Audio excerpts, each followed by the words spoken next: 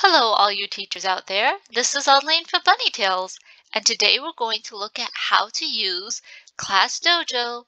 Class Dojo is a great tool for class management and record keeping. Now to get started we need to go to classdojo.com. Once you're in classdojo.com you need to create an account. To create an account you need to go to the upper right corner and sign up. When you sign up you need to choose which category you're signing up for. Today we're going to sign up as teachers. You're going to create your account by filling in your basic information, first name, last name, email, and then create a password.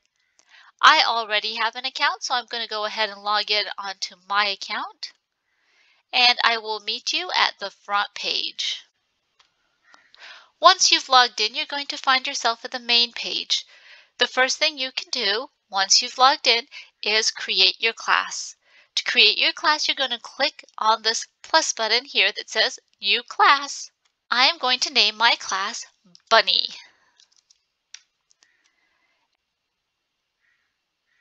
And then you can choose your grade level. I've got a second grade class here, and now I'm going to click Create. Once you've created your class, you can start by adding your students. Click on this button that says Add Students, and then you can either add them in one by one by putting their first and last name, or you can copy and paste a student list from Excel or Word. I'm going to import a student list from Word.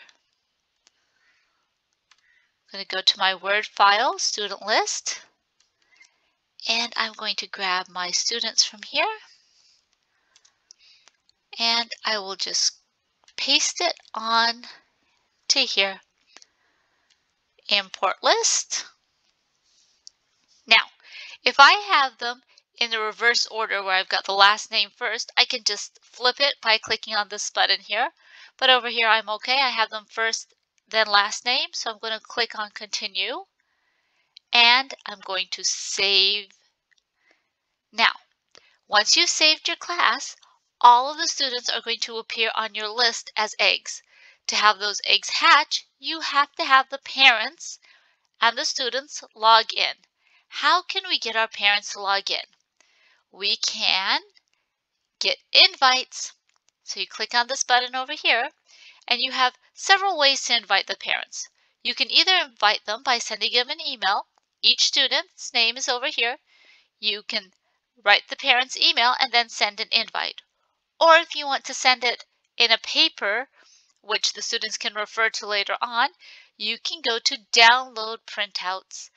Now, the fun thing about this is you can do this in more than one language. So if you are teaching in a school overseas, say you're teaching in China or you're teaching in the, the, the United Arab Emirates, that's where I'm teaching, you can choose the language over here. You can choose Arabic, you can choose any language you want to. You can choose French, you can choose Chinese, you can choose Spanish. All right, I'm going to go ahead and choose English. And I want to send it to all parents. I can click on the download printouts.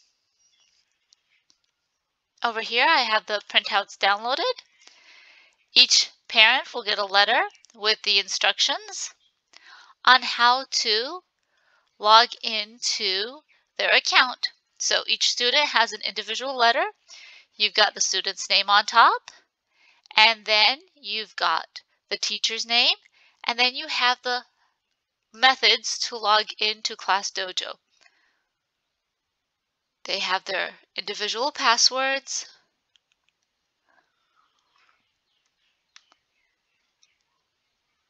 So you can mail these off to your parents.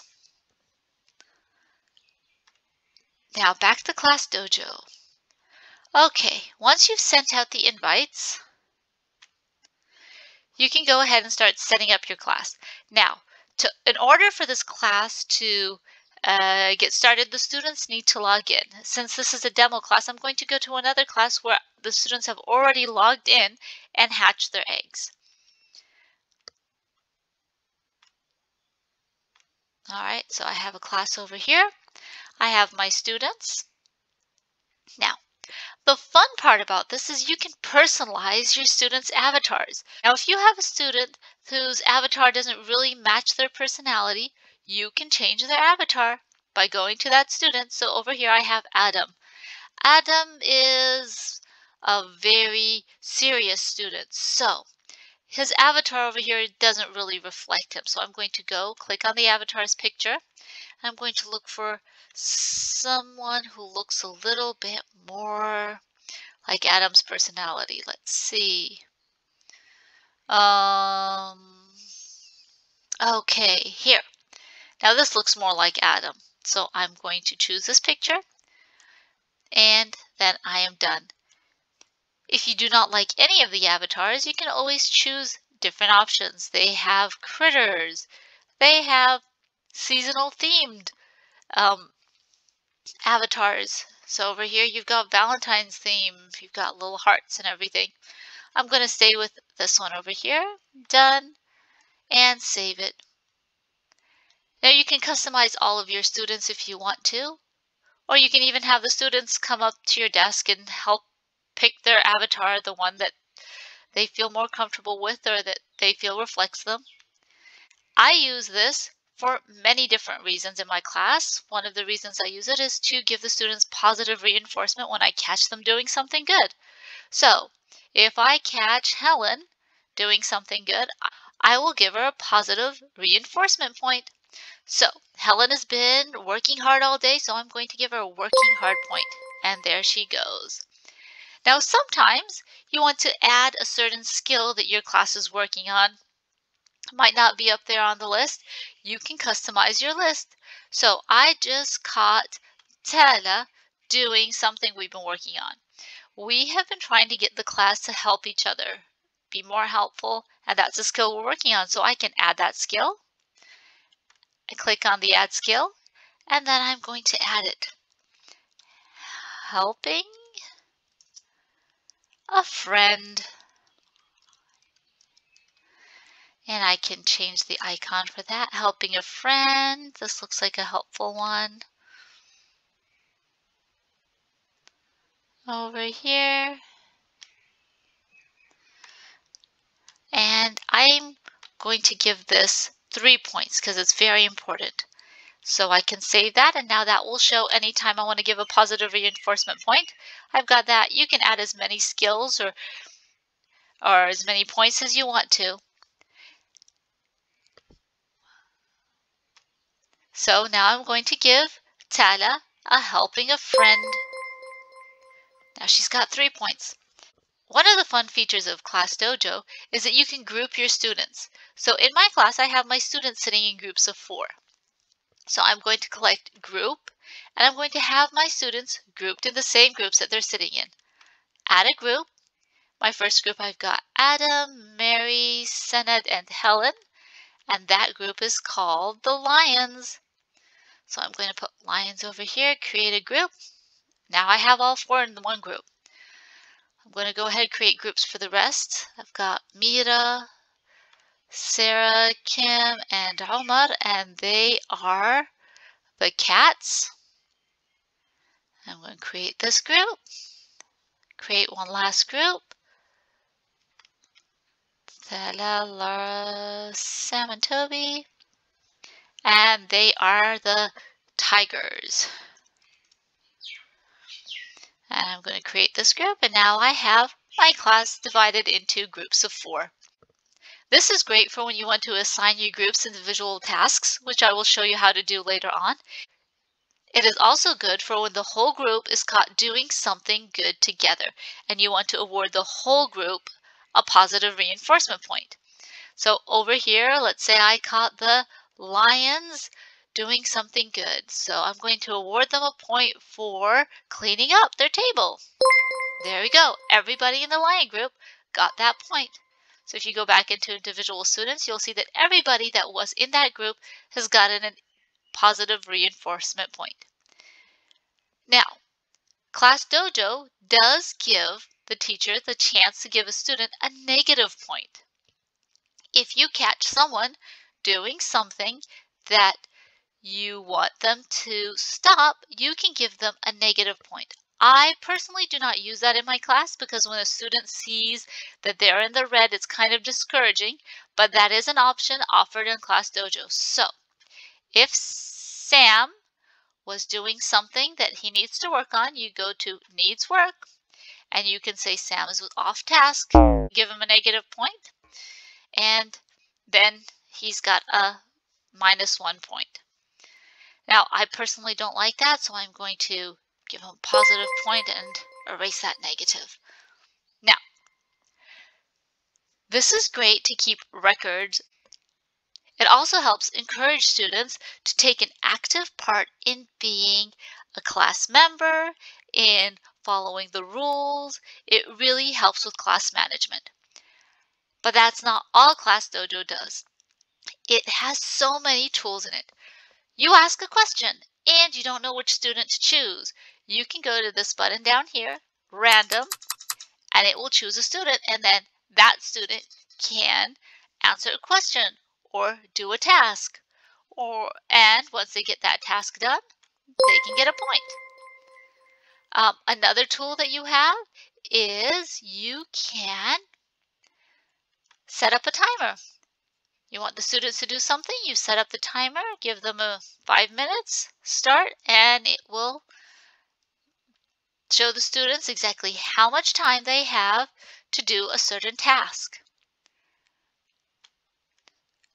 There are some other tools over here.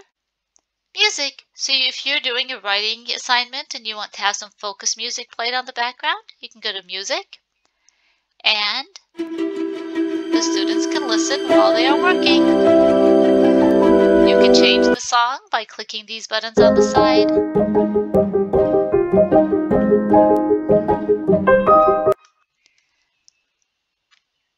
These are some of the tools that you have on Class Dojo. There are some other tools you can play around with, but I want to jump into some of our other features. Class Dojo is also very good for record keeping. So one of the tools that I like to use is this tool over here. So you go over here to options and you can go here to view reports. And once you're at view report, you can see how the class has been acting throughout that day. So you can see in general what all of the students have been doing. Who's been on task, who's followed instructions, and then you can go to view spreadsheet and then it will have that report for you on Excel so that I can print this out and keep it as a record. You'll get the spreadsheet in Excel form and you can use this to track the students' attendance. You can see how many days they've been present.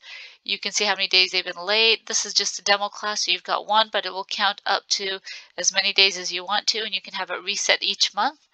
You can see what the students need to work on, what task they need to work on, this is a great tool that I use all the time. Uh, on a weekly basis, I print out the report, keep it in my file. That way I know what student needs to work on what skill and it just helps me stay organized. It's also great for attendance. You can check your attendance throughout the whole week and it just really helps keep everything recorded and everything documented. So another great tool on Class Dojo is the portfolios. A portfolio is a great way to keep the students' work organized and it's also a great way to give them tasks. So I'm going to create a task for my students. This week we're working on pets. So this week we're learning about pets. So my title is pets and my task is draw a picture of an animal that you would like to have as a pet. So I have given them a task. How do I want them to respond? You can choose if you have a question where you want them to actually uh, write something, you can ask them to write a text. You can ask them to submit a video, a photo of something. Today I want them to draw, so I want the response to be a drawing. And then I can assign it. I can assign it to the whole class If I click this button, I will assign it to the whole class, or I can assign it to a specific group. So if I want a specific group, I can say I want to assign this to Adam and Helen and Kim. Okay, so if students have been selected, I click on Assign to Students. And now these students know that they have to complete this task. When the students complete the task, this bar here will show me which students have completed the task. After the students have completed the task, I can go to each student's name and I will be able to see all the assignments they have turned in. Since this is a demo class, I don't have any of the work here, but if you were to open my class from school, you will find that each student has a bunch of assignments that they have turned in. This is a great way to have all the kids' work in one place and you're not looking for them in different parts. Everything is set in one specific area. It's great for record keeping. Another great tool in Class Dojo is the class story. The class story button up here is where you can post information about what's going on in your class. So uh, I post on a daily basis. I tell the parents a little bit about what's going on in our class. Over here, you can write what's going on in your class. So this week, we were learning about farm animals, so I'm just going to write about what we did in our class. And then I can add some pictures. I usually put pictures of my students. So over here, I'm going to just drop a picture from a file I have. And then I will upload it and post it so that the parents can see what's going on in our class. Parents can go down and see what we've been learning about. Another great feature on our class story is the events button. So if you have an event coming up, you can write about it over here. We have a field trip, so I'm going to write about that to remind our parents. Trip to the farm. Here's our title. We're going to have the trip on the 27th, so I'm going to write down the date. If I have specific time for the trip, I will put it over here. Our trip is going to be an all-day trip, so I can just mark all day on the 27th. Uh, if I have instructions, I can type them in over here, bring a snack, whatever I need to let the parents know. I can also change the theme here, so when the students look at it, they know what they're what they're going to do and it gets them all excited. So I'm going to pick a an animal theme because we are going to a farm. So I'll pick a horse and change the background. Uh, let's put a green background over here. And I will post this for the students and the parents to know what events are going to come up this week. I can also set a reminder so the, the, the, students and the parents will know what's coming up and they can remember to prepare themselves. So I'm going to set it five days before and one day before that's it. And then I can create that post and it shows up over here, upcoming events. Over here, the parents can see what events are coming up in the class. They just go over here and upcoming events and they'll know exactly what to expect this week. So this is definitely a great tool that the students and the parents really enjoy. Another great tool is the messages. The messages over here is a good way to communicate with the parents. You can send direct messages to each parent. Uh, this is a demo class, so I don't have parents connected, but if the parents are connected, you can select their name and send them a direct message and they can message you. Parents can stay in touch and they know what's going on in the class and I know what the parents have to tell me. ClassDojo has so many tools that you can use. These are just some of the tools that I use on a daily basis in my class. If you have any questions about Class Dojo, please send them to me in the comments below. And I hope you enjoyed this video. Thank you for watching Bunny Tales. Please subscribe to the channel. Thank you.